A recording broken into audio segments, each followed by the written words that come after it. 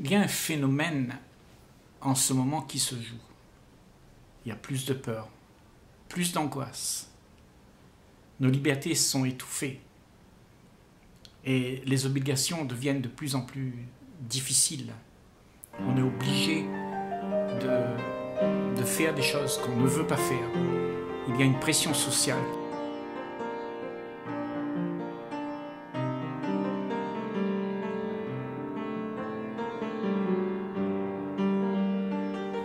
Nous savons, nous, qu'il y a quelque chose qui ne va pas.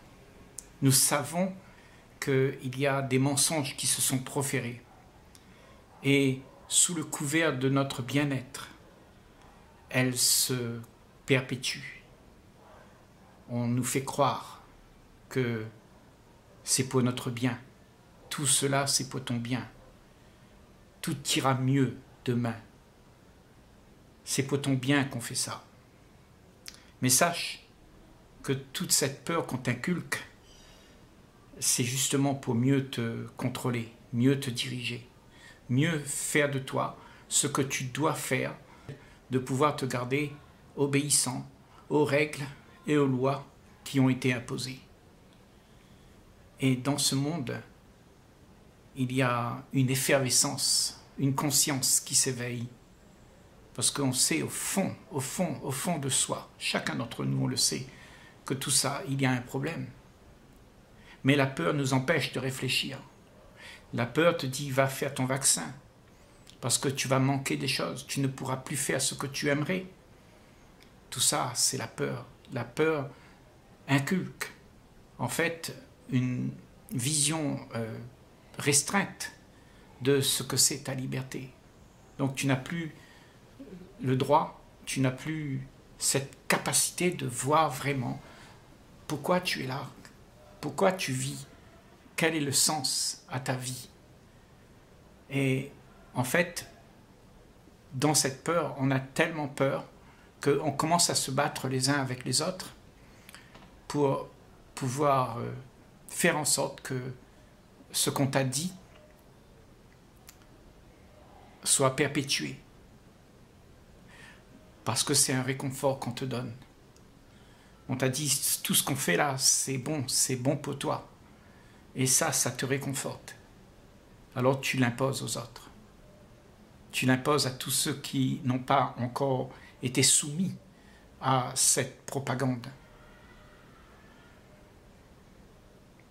Le problème avec tout ça, c'est que nous ne savons pas comment faire pour sortir de ce cercle vicieux. Nous sommes prisonniers de ça. Nous ne savons pas comment gérer nos peurs. La peur nous assaille et nous devenons irrationnels.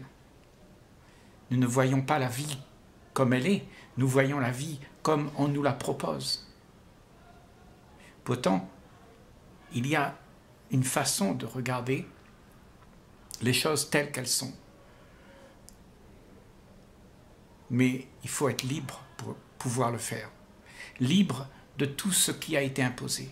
Libre d'une pensée dominante qui te dicte comment tu dois vivre.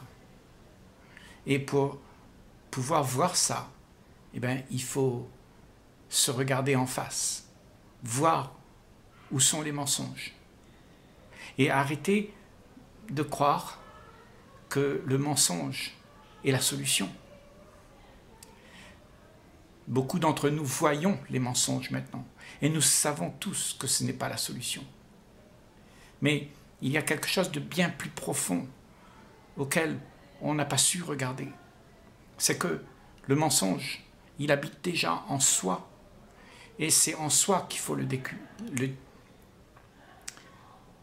et c'est en soi qu'il faut aller le débusquer, pas là-bas dans les esprits des élites dans ceux qui te dictent comment la vie devrait être. Le mensonge, il habite déjà en toi. Il t'a déjà infecté. Et ce mensonge se sont installés dans tes propres pensées. Ce sont les schémas de pensée qui se sont installés en toi par la propagande, par la peur. Et en fait, tu es devenu toi-même ton propre ennemi parce que tu as peur de vivre, tu as peur de mourir, tu as peur de tout. Et en fait, tout ça se passe en soi. Et c'est en soi qu'il faut aller voir pour pouvoir sortir de cette immense euh, propagande, euh, cet immense mensonge dans lequel tu baignes, toutes ces pensées qui te font agir euh, à la lettre. Ce que tu dois faire, c'est à l'intérieur de toi que ça se passe. C'est pas à l'extérieur. L'extérieur, ce n'est qu'une illusion, parce que c'est en fait le reflet même de ce que tu penses, de ce que nous avons pu tous penser depuis des décennies et des décennies. Et c'est entrer dans une conscience collective. Et cette conscience collective fait emmener la sauce jusqu'en haut. Et la sauce, ce sont nos élites, ce sont nos guerres, ce sont les choses qui se passent dans ce monde. Nous avons tous créé ça. Et là, maintenant, il y a un moment de l'histoire de la race humaine où il y a un tournant, où nous avons la chance, peut-être la chance, de tous aller d'un seul pas pour faire une action qui soit en dehors de la demande de la peur. Parce que la peur t'empêchera, que tu aimes ou pas. Tu auras peur des conséquences. Parce que tu es dans des obligations qu'on t'a imposées. Et ces obligations, c'est toi-même qui les as acceptées. Donc il faut que tu saches comment vivre sans la peur pour pouvoir aller au-delà de toutes ces choses que nous faisons et que nous ne voulons pas faire, mais nous faisons quand même. Tout ça, ça se passe dans un esprit qui a accepté de voir la situation telle qu'elle est. Pas la situation que tu aimerais voir. Pas parce que quelqu'un t'a dit comment les choses s'arrangeront. Les choses ne s'arrangeront pas. Les choses vont de pire en pire. Les mensonges vont de plus en plus graduellement envahir la conscience. Il suffit à toi de voir les mensonges et de les examiner, de faire face à ces mensonges et de ne pas te laisser influencer par la promesse qu'il y a derrière. Parce que derrière tout mensonge, il y a une promesse qui te dit que ça ira mieux. Mais si tu écoutes cela, alors tu vas perpétuer le même système. Tu vas accepter que les choses continueront de la même manière. C'est en regardant la vie telle qu'elle est, la vie que tu as toi telle qu'elle est, sans te laisser baratiner par les histoires que tu te racontes, les promesses que tu te donnes à toi-même pour une vie meilleure, pour une vie bien plus plaisante. Tout ça, ça appartient à celui qui rêve. Et celui qui rêve, il rêve pour son intérêt. Et c'est cet intérêt qui fait que chacun d'entre nous, on se terre dans notre petit monde et on se sépare les uns des autres. Et c'est cette séparation qui fait que qui donne la possibilité à tout ce mouvement de l'humanité d'aller dans le sens du chaos. Parce que nous sommes séparés, parce que nous sommes divisés les uns des autres. Mais s'il n'y a pas de division, s'il y a un réveil, que les choses ne sont pas ce qu'elles sont, et de voir vraiment ce qui se passe, alors il y a une intelligence dans chacun d'entre nous qui fait qu'on sait au fond, au très fond de chacun d'entre nous, ce n'est pas la vie que nous voulons, ce n'est pas la bataille, ce n'est pas les disputes, ce n'est pas les, confusions que l'on a aujourd'hui dans ce monde qu'on a besoin. On ne veut pas ça. On ne veut pas des guerres. On ne veut pas vivre ensemble sur cette planète en se déchirant les uns les autres, en se maltraitant les uns les autres, en se critiquant les uns les autres tout le temps. Parce que quand on fait ça, alors on faire perpétuer la peur. La peur entre les peuples, la peur entre l'un et l'autre, la peur entre le la mère et l'enfant, la peur entre la femme et le mari. Tout ça, ça se passe en soi. Et c'est seulement à partir de là, chacun d'entre nous, on pourra voir clair. Parce que si tu es clair, tu vas rejoindre tous ceux qui sont clairs et qui ont envie de percer toute la confusion qui a été mis en place, qui va vouloir passer au-delà de tous les mensonges, de toute la confusion qui s'est installée, qui t'a dicté comment tu dois vivre, comment tu dois te comporter pour que tu sois bien, qui t'a enlevé tes privilèges, qui t'a enlevé ta liberté d'être ce que tu aimerais être. Et on t'a dicté comment tu dois être. Cette liberté qu'on a perdue n'est pas grave. C'est pas grave parce que cette liberté d'avoir le plaisir de la vie, c'est éphémère. C'est pas cela qui nous intéresse vraiment. Mais la liberté d'être, d'être soi, d'être vrai, d'être présent, d'être ce que l'on est, sans mensonge, une vérité pure qui peut accueillir tous les autres autour de soi. Et c'est comme ça qu'on pourra vivre ensemble. Quand il n'y aura pas de mensonges, quand on ne se racontera plus d'histoires les uns les autres, quand il n'y aura plus d'idées divergentes, où chacun regarde midi à sa porte. C'est seulement dans ces conditions-là que ça pourra se, faire, la vie ensemble. Autrement, ça va être très compliqué. Parce que nous cherchons toujours la petite bête, en fait. Il y a en soi quelque chose qui veut être satisfait, quelque chose qui a besoin d'un centre d'intérêt, qui cherche une sécurité. Et cette sécurité, c'est une promesse que tu te fais à toi-même. C'est la promesse que le monde te le fait. C'est la promesse que tu demandes à quelqu'un de te le donner. C'est la promesse avec laquelle tu dépends du monde. Et à partir du moment où tu dépends de quelqu'un pour que tu puisses avoir ta zone de confort, alors cette zone de confort, elle sera, elle, elle sera détenue par celui qui te la donne. Et celui qui te la donne n'a pas une bonne intention. Il a l'intention de te garder toujours dans le même état, dans l'état d'obéissance, dans l'état où tu dois continuer à faire vivre celui qui te donne cet privilège, ce bien-être que tu penses devoir avoir, cette sécurité que tu crois être l'essentiel. La sécurité, cette sécurité-là, elle sécurise le personnage, le caractère, l'individu. L'individu qui a réussi, qui a mis, qui s'est mis dans une position pour être, pour arriver quelque part. Et tout cela, ce sont des gens en mal-être, en mal-être parce que ils veulent le pouvoir, ils veulent garder leur petit train-train de vie. Tout change. Nous sommes ensemble dans un autre ère où tout change. Nous devons tout abandonner pour se réunir, pour se mettre ensemble et construire un autre monde. Un monde qui ne ressemble pas à ce qu'on veut pour soi, mais un monde qui ressemble à ce qu'on veut pour tous. Le problème, c'est que notre société est basée sur un monde individuel où chacun regarde midi à sa porte. Et on a été habitué, on est rentré dans les mœurs. Et c'est pour ça aujourd'hui que nous sommes dans cet état, parce que ce mensonge ne peut pas perdurer.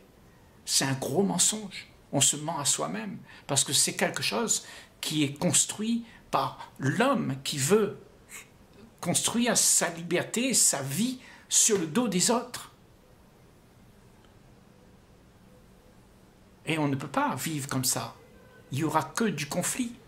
Et d'ailleurs, tu peux voir dans le monde entier qu'est-ce qui se passe? Tous ces pays qui se bagarrent, ces guerres, ces gens qui meurent de faim, toutes ces choses qui sont impensables. Cette médiocrité de vie. Ces, ces pays qui profitent l'un de l'autre. Et ça ne va pas seulement dans les pays, mais c'est dans la famille, dans le couple, dans, dans les relations humaines que nous avons tous les jours entre ton patron, toi-même et ta, tes enfants, tes copains. Nous voulons tous retirer quelque chose de ça. Est-ce que tu peux voir que cette, cette problématique, elle est en nous? Elle n'est pas dans le monde. Il y a quelque chose qui doit se passer. Il y a quelque chose qu'on doit abandonner, qu'on doit réaliser. Et tant que cette réalisation n'est pas faite, il y aura toujours de la division en espérant que dans cette division, il y a une conscience collective qui poussera l'autre à venir se rallier à quelque chose de beaucoup plus beau. Parce que quand tu penses à toi, quand tu penses à ton petit monde, alors ça devient monotone parce que tu t'isoles de tout. Et les gens qui sont isolés de tout, ils sont mesquins. Ils ne veulent pas ton bien, ils veulent leur bien. Et c'est pour ça que chacun d'entre nous, doit réaliser que cette idée d'individualisme, tout se rapporter à soi pour mon bonheur, ma vie, est fini. On doit abandonner tout ça pour pouvoir se réunir ensemble, pouvoir vivre sur cette planète d'une manière totalement différente que ce que nous, avons toujours fait d'ailleurs. Aujourd'hui, il y a un tournant dans l'histoire de la race humaine où tu peux comprendre ça, tu, peux le comprendre. Mais est-ce que tu es prêt à changer de style de vie, de mode de vie, changer totalement ton contact avec les autres, ne plus rien demander à qui que ce soit, mais toi-même venir faire en sorte que tu crées cette harmonie, cette envie de vivre ensemble, sans se bagarrer, sans se quereller. Et ça commence dans ta famille, dans ta petite, humble famille. Parce que si ça ne se passe pas là, alors la relation, les relations humaines vont faire en sorte qu'il y aura un monde malade, des relations malades, où tout le monde essaye de prendre de l'autre quelque chose. Et c'est pour ça que nous sommes dans cet état aujourd'hui. Parce que nous avons fait que ça, nous avons toujours connu cette activité. Et cette activité ne peut pas perdurer. Parce que la vie elle-même nous propose autre, chose. Au fond de ton cœur, tu sais vraiment que c'est pas ça. Parce que quand tu vois les conséquences de tout ça, tu sais que c'est pas ça que tu veux. C'est OK, il n'y a rien, personne qui va te condamner, personne qui va te dire c'est bien ou c'est pas bien, mais c'est à toi de réaliser. Parce que c'est quand tu es voulant, quand tu es, quand tu es sur la voie, où tu as compris que c'est toi-même celui qui doit faire en sorte que les choses changent. Alors, la vie aura un autre goût. Parce que tu vas mettre sur la table l'ingrédient qui va faire en sorte que on a envie de s'unir. Tu vas mettre de l'affection, de l'amour, gratuitement. Pas parce que quelqu'un le demande, mais parce que tu le donnes, sans que quelqu'un attend de toi, sans que tu attendes de quelqu'un non plus mais on doit le faire pour chacun d'entre nous. Chacun d'entre nous, on sait que c'est ça qu'on doit faire. Alors on le fait sans qu'on soit applaudi. Il n'y a rien à gagner dans tout ça. Il y a juste à être soi. Et être soi, c'est pas quelque chose que tu t'enorgueillises. Tu es tout simplement ce que tu es. Mais aujourd'hui, on te demande de réussir, de devenir quelqu'un, de prospérer et d'être glorifié, d'être mis sur un piédestal. Et c'est ça qui cause notre perte. Parce que nous croyons au rôle que nous jouons euh, qui, te donne euh, de, la, de la hauteur. Et ça, ça t'enorgueillise d'être quelque chose, de jouer un rôle qui te donne de la hauteur. Et c'est pour ça que toutes ces activités dans le monde est basées sur le rôle de chacun, où chacun veut se faire valoir dans son rôle, dans son utilité qu'il s'est imposé à lui-même, en dictant que moi, je voudrais arriver à faire ce que je veux. Mais ça, ce n'est pas de cela qu'on parle. C'est de faire, non pas ce que je veux, mais de faire ce qu'il y a dans le plus profond de chacun d'entre nous. Un élan de notre cœur qui fait en sorte qu'on a envie de vivre ensemble, on a envie de se rencontrer, on a envie de se faire du bien. On a envie que le sourire de l'autre soit merveilleux et agréable. On ne veut pas prendre ce sourire, mais on accepte de voir que tout ça, c'est quelque chose qui fait partie de la vie. C'est quelque chose qui est là. On n'a rien à prendre. Et à ce moment-là, il y a de la liberté pour chacun. Parce que personne ne demande plus rien à personne. C'est pas compliqué. Mais c'est compliqué parce que tu as peur de regarder en face ce qui se passe. Parce que tu as peur des conséquences. Tu ne veux pas regarder même ce que tu es en face. Parce que ce que tu es, c'est cela. C'est rien. Tu es rien. Et tu n'as plus, tu n'as pas de valeur. La valeur que tu te donnes, c'est quelque chose d'illusoire.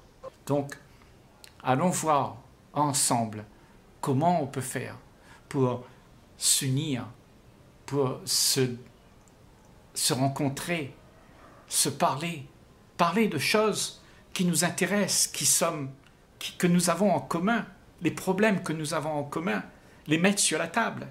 Et puis, chacun d'entre nous, on, connaît la vérité. Et quand tout est mis sur la table, ben, on repart tous avec quelque chose qui est vrai, parce qu'on a pu se comprendre. Mais si on se bat éternellement avec nos différences, avec nos propres idées, nos croyances, parce que toutes ces idées, ces croyances, ces envies que nous avons, c'est quelque chose que l'on concocte dans le petit monde individuel que l'on fabrique. Parce que dans ce petit monde individuel, il n'y a pas de sécurité, donc il y a seulement l'envie de se mettre en sécurité.